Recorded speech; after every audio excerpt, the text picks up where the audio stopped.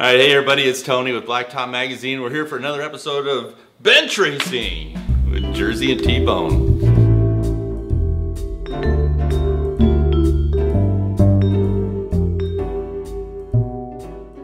Jersey, how you doing, man? You know, it's still recovering from SEMA a little bit. yeah, yeah. I know it doesn't seem like that long ago. Then again, it seems like yesterday. yeah, and here we are already prepping for next year. So right, like, right. yeah. Ugh. Playing playing catch up after SEMA is the hardest part. Imagine if you went to PRI also. I'd love to go to PRI. I know, but not work it, right? No, not work it, just go. yeah, I'm with you. I think that would be a sensory overload. Yeah, yeah. I mean, it's from what I understand, it's like Central Hall times 10 mm-hmm. You know, it's all the race and performance guys. But it's the- without I, the big difference from SEMA is it's it's strictly motorsports, I guess, mm. from what I understand. Oh, okay. I don't know if race. and- Yeah, it's all race related. So yeah. So you're not going to find. Well, I guess you would find a wrap company there. You know, to do wrapping yeah, race cars. Yeah, because they're not painting race cars anymore. They No. wrap them now. Yeah.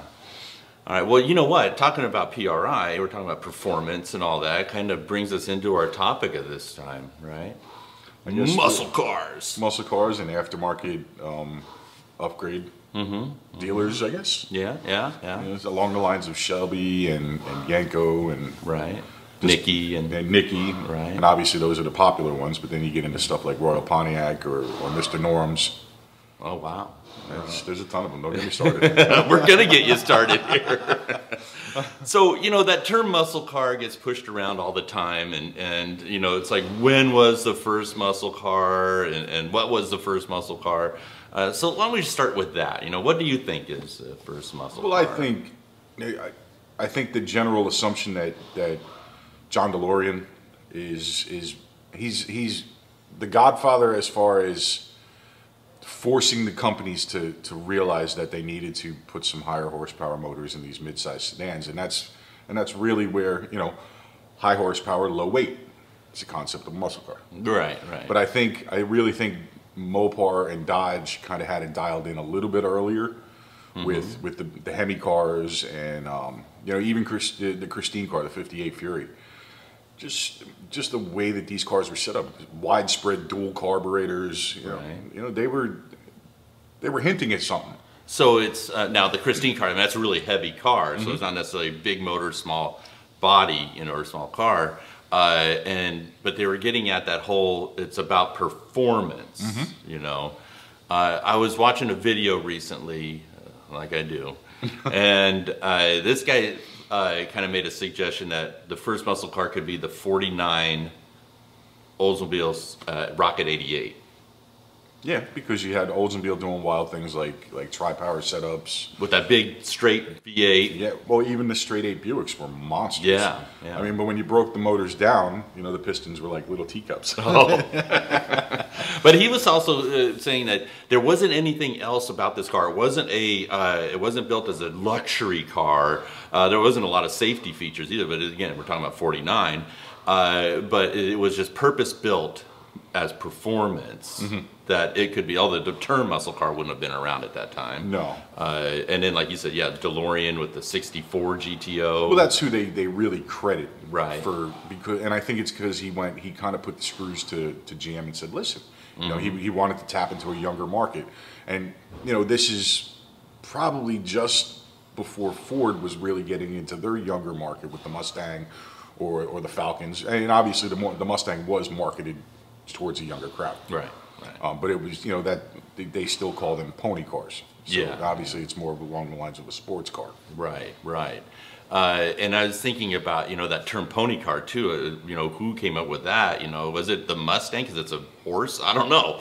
You know, Well, that's I mean, that was 64 and a half. That's that's a good that's a good subject to research, I think, mm-hmm. because you know even the e-body um, Dodges, the Challengers, and the Cudas fall into Right. that market.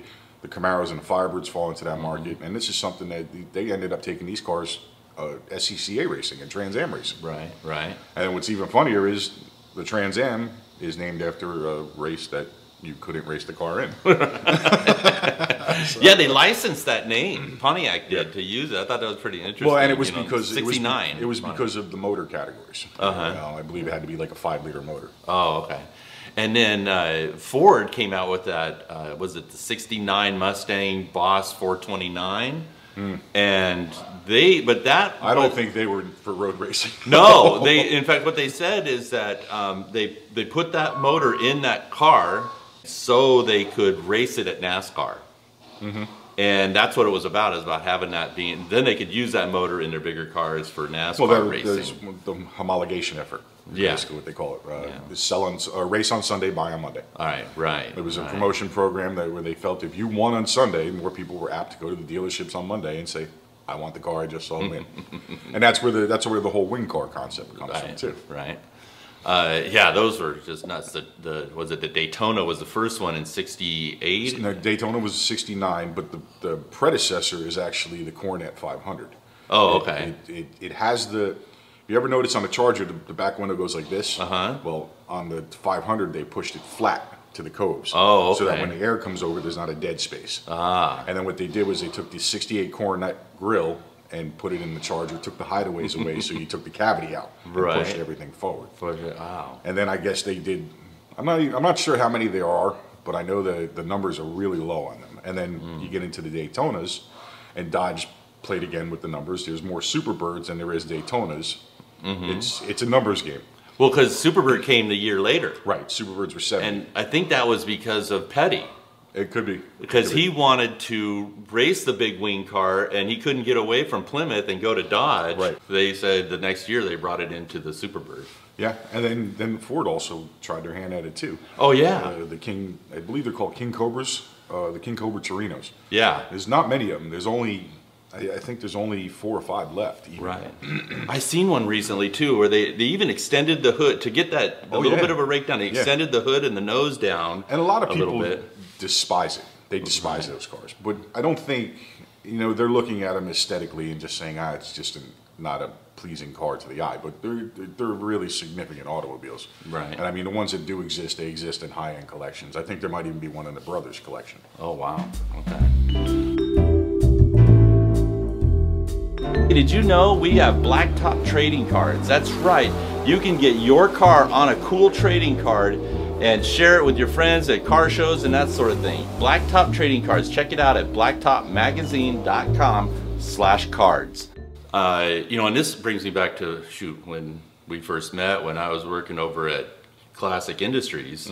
And that's the first time I ever heard of the term COPO. Central Office Production Order. Yeah, and uh, those what- cars. What's weird is initially Central Office Production Orders were mainly used for fleet vehicles.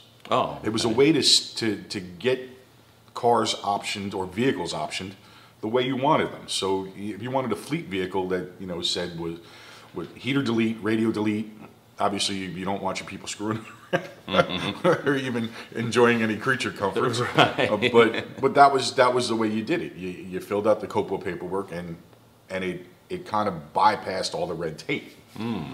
And then you had guys starting to figure out, well, hey, I could But the you know, and, then, and then that kind of jumps back to, to guys like Bill Thomas, who, when as soon as the Camaros were introduced, he was one of the first guys to really take the Corvette 427s and stuff them in these pony cars. But yeah, when I heard about that, and then there's, I've always seen those cars with the badges on the back that might say Nickey, or Mm-hmm. then you see the Yenko stickers, and of course at Classic Industries, uh, they're big with the Yenko. So well, they actually own the trademark to the Yenko name now.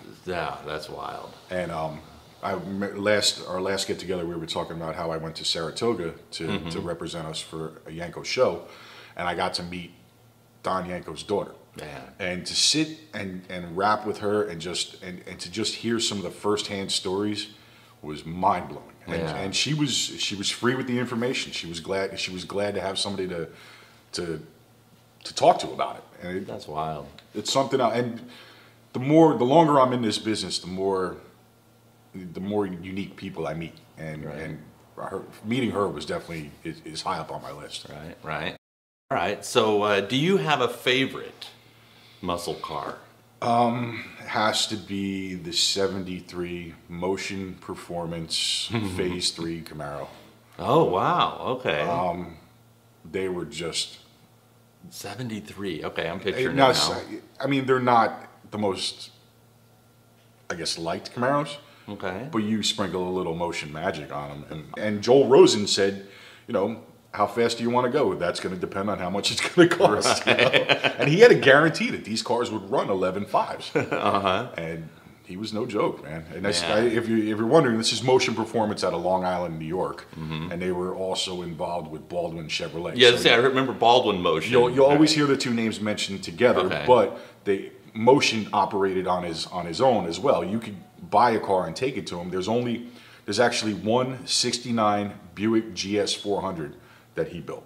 Okay. So there's there's there's a couple freaks floating around. There's Uh-huh. a Buick GSX floating around that, that he built as well. Yeah. And you know it's his because it's got it's the only GSX that has Keystone mags on it.